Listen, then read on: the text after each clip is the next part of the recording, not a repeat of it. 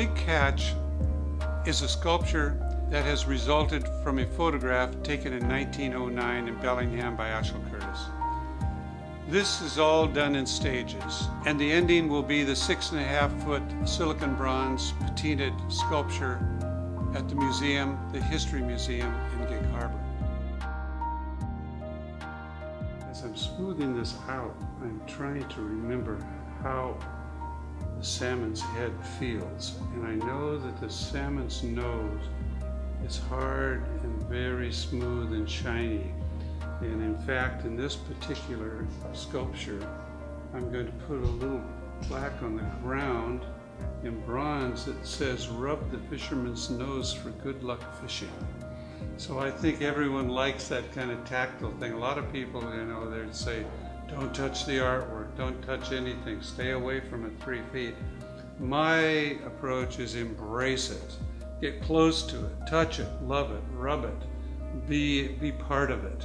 And that's exactly what I want to happen with this. So it's, uh, so what I'm doing now is I'm loving it. I'm trying to feel the spirit of the king salmon uh, through the clay, imagining what it'll be like when it's in bronze.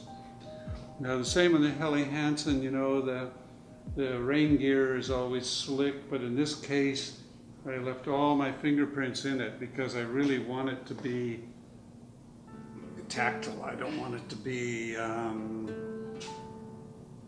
I don't want it to be like the fender on a Ford. I want it to be like a Maserati or a Lamborghini or a Ferrari where you really can see that it's a hand-built object and that's what we That's what I want out of this guy.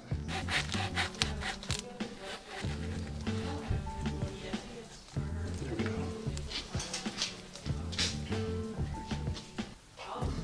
What we're doing is we're taking it apart in pieces and uh, so that it can be better um, poured and molded and then also cutting it in certain areas so when it's welded back together in the bronze those areas will be easy to identify and, uh, and weld.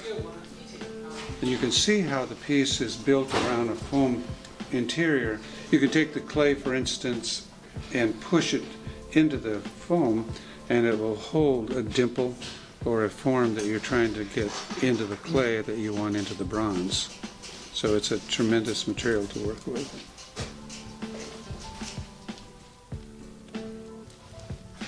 So I'm only going to go to the halfway point. Some of it's going to run past that, but uh, we're going to stop it halfway and that'll give me a chance to put the dividers in there for where I want to break the piece up.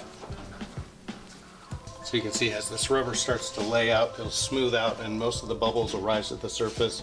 I may have to work a couple of them loose just with the brush, but um, should end up with a pretty bubble-free surface when we're done. See, it'll run into every little groove into the in the gills.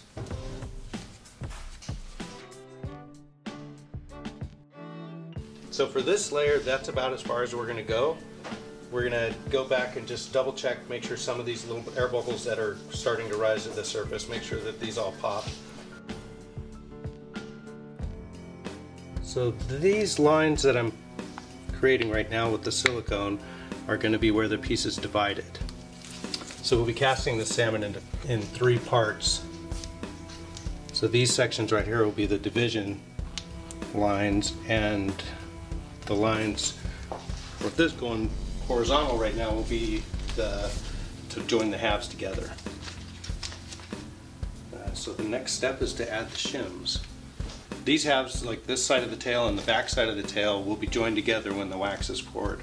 Uh, right now what I'm doing is dividing where the sections that don't have to go together and so you can use any kind of flat uh, shim stock. I just use playing cards that the casino gives away.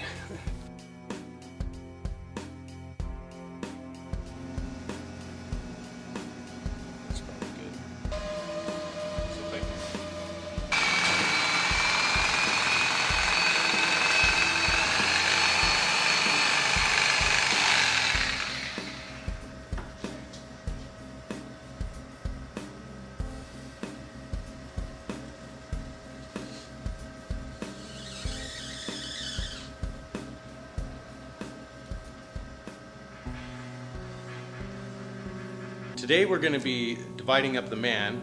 We're going to start off by running a box cutter which will actually establish the lines that we're going to be dividing up the mold. Uh, the next step which we're about to do is to go in and put cards and bubble shim along those parting lines which will help separate the pieces and also match them up in case they have to be joined together.